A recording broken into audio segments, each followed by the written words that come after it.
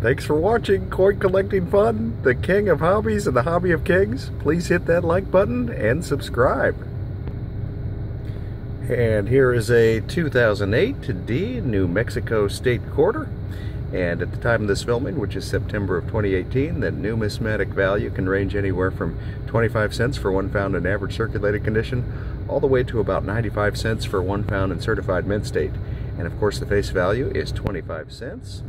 And uh, on the obverse that we showed at the beginning of the video, it has Mint Mark D for the Denver Mint and 244 million 400,000 of these coins were produced.